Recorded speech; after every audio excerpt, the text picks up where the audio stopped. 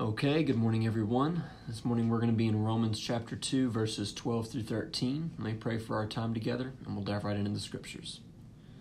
Father, would you please give us wisdom and understanding this morning as we come to your word? Father, we don't want to be guilty of being hearers of your word and not doers. So would you cause your word to be effective in our lives? Give us understanding so that we can do and know what we ought to do, Father, and give us the ability to follow through with what we have read about. We love you, and it's in Christ and we pray. Amen. Okay, so Romans 2 12 through 13 says this For all who have sinned without the law will also perish without the law, and all who have sinned under the law will be judged by the law. For it is not the hearers of the law who are righteous before God, but the doers of the law who will be justified. So, whenever we read about the law here, we see it come up over and over again in this verse the law, the law, the law, the law, the law, the.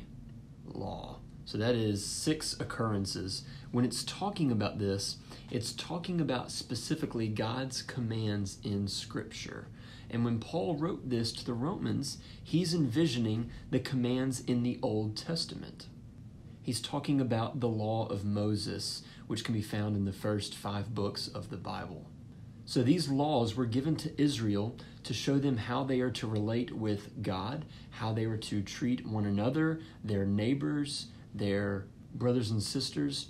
And Jesus in the New Testament, he summarizes the whole law in a command love the Lord your God with all your heart, soul, mind, and strength. Love your neighbor as yourself. So, this law explained to Israel how they were to act as God's people. It was to set them apart among all the nations. So, all the nations, they weren't gifted the law. They could go and learn of it and find out about it, but Israel was different in that God chose Israel to receive this. He handed it down through Moses to the people as they are wandering in the wilderness and heading towards the promised land. And he chose Israel to have the law as they would move into Canaan. But here's something that happened Israel, in their relationship to God through the law, began to treat the law robotically. They weren't obeying the law so that they could have a good relationship with the Lord, they were obeying the law for their own benefit.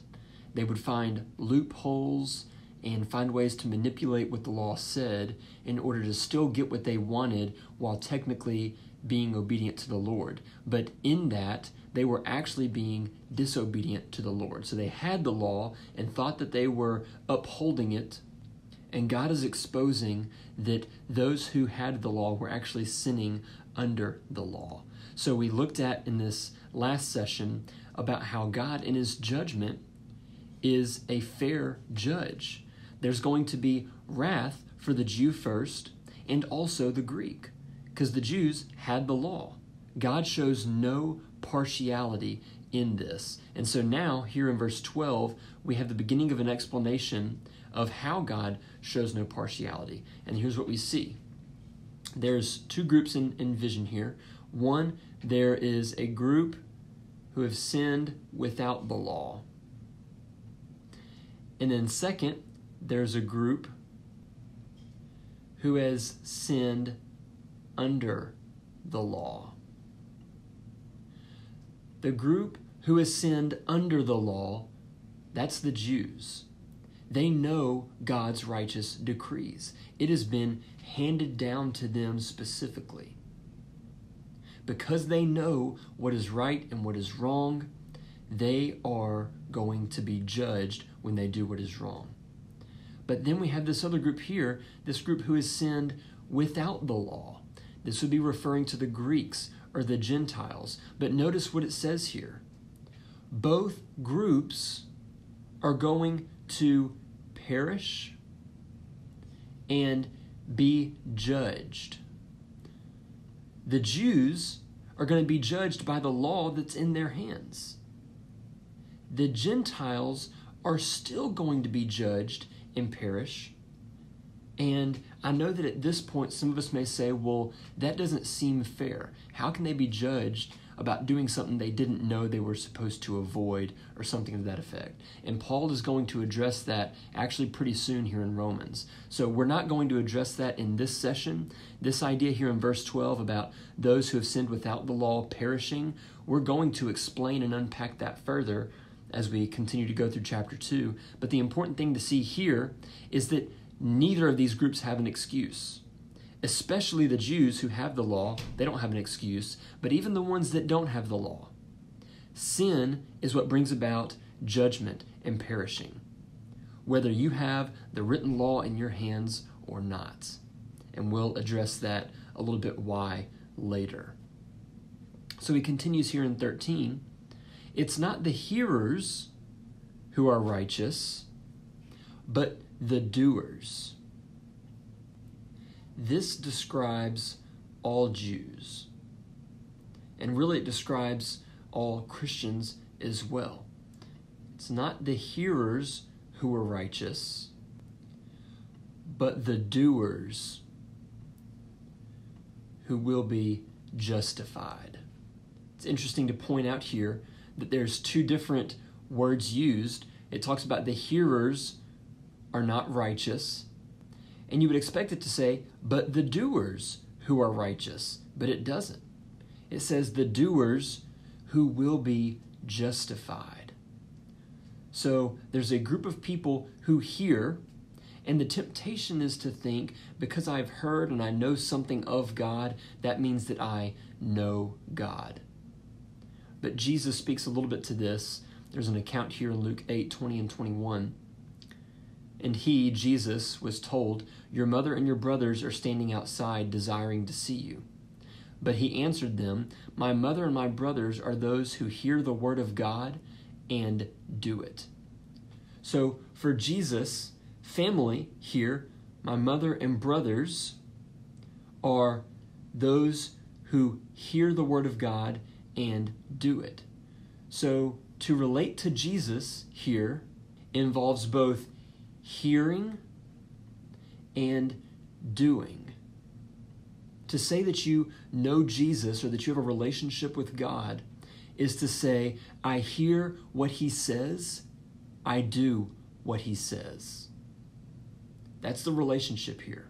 We see this idea also unpacked in the book of James 1 22 through 25. But be doers of the word and not hearers only, deceiving yourselves. For if anyone is a hearer of the word and not a doer, he is like a man who looks intently at his natural face in a mirror. For he looks at himself and goes away and at once forgets what he was like. But the one who looks into the perfect law, the law of liberty, and perseveres, being no hearer who forgets, but a doer who acts, he will be blessed in his doing. So, the command here is to be doers, not hearers only, deceiving yourselves.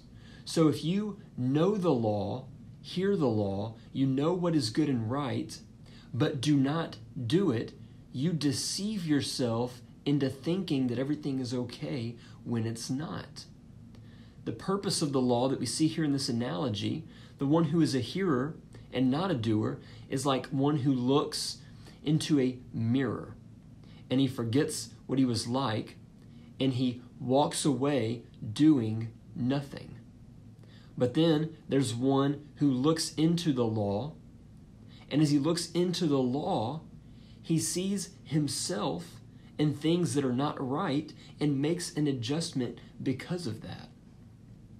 This is the one who is a doer and not a hearer. So, tying all this back to Romans, all of us have sinned, whether we do not have the law or we do have the law. We've all sinned, and so we are all unrighteous. The ones who hear the law and don't act on it are not righteous. If every person on this planet had a copy of the scriptures and of God's laws and precepts and commands, there would still be none righteous. And that's why there's this different choice here. The doers of the law, here's what happens to them they are justified. This is the hope for every Christian. That in the midst of our sin, God has justified us. Here in the book of Romans, this is a condemnation against those Jews who have the law and they hear and they say, Well, I'm a Jew, but then they don't do what God says. He says, You will not be justified. But we can also, as Christians, take this as a warning. May we not be hearers who do not do. We talked about already in Romans, God has saved us through faith, not through our doing the law and our works. He saved us through faith, but in that faith, we are saved to good works. May we not turn to God in faith, hear the message of the gospel, and respond and think God doesn't expect me to do and I don't have to do. If that's your mindset, you are one of these hearers who have sinned under the law and will not be justified and not be declared righteous. May we hear the word of God and respond in faith and obedience. May we go to God's word and seek Him and find Him when we search for Him with all of our hearts.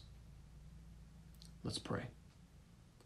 Father, I thank you for your word.